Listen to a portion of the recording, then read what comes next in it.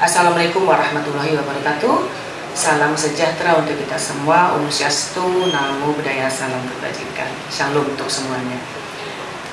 Dan salam sehat pastinya untuk kita semua.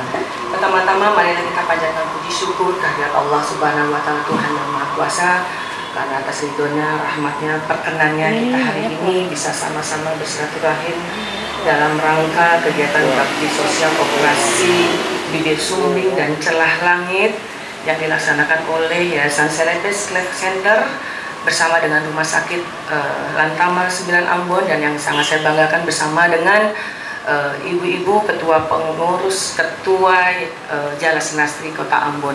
Ini merupakan uh, sinergitas yang sangat luar biasa.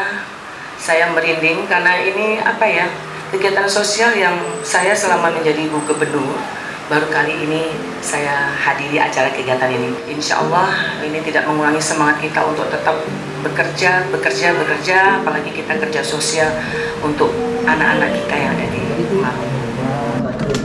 Halo, Nyong Ambon, anak ganteng. Siapa namanya?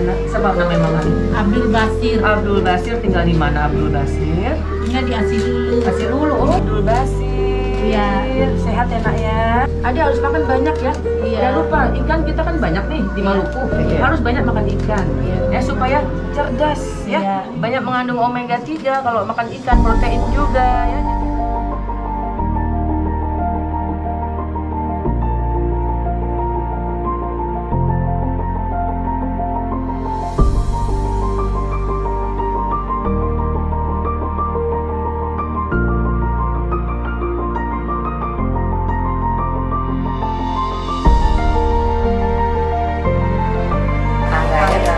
Rasanya ibu? Senang ya, alhamdulillah ya. Iya.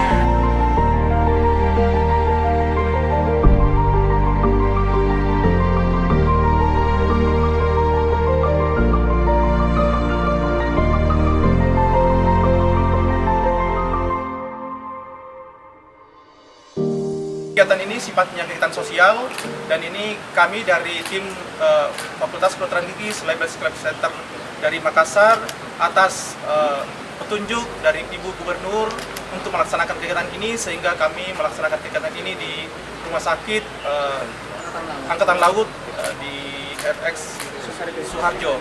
Kegiatan ini untuk murni untuk sosial untuk membantu masyarakat yang ada di seluruh pelosok uh, Maluku untuk diberikan layanan gratis yang mengalami yang tidak beruntung mengalami catat bawaan, bawaan lahir di apakah itu di bibir atau di gusi atau di langit-langit. Assalamualaikum warahmatullahi wabarakatuh. Shalom. Saya Widya Pratwi Murad, Ketua Tim Penggarap PKK Provinsi Maluku yang juga selaku Duta Penangis Stunting Maluku.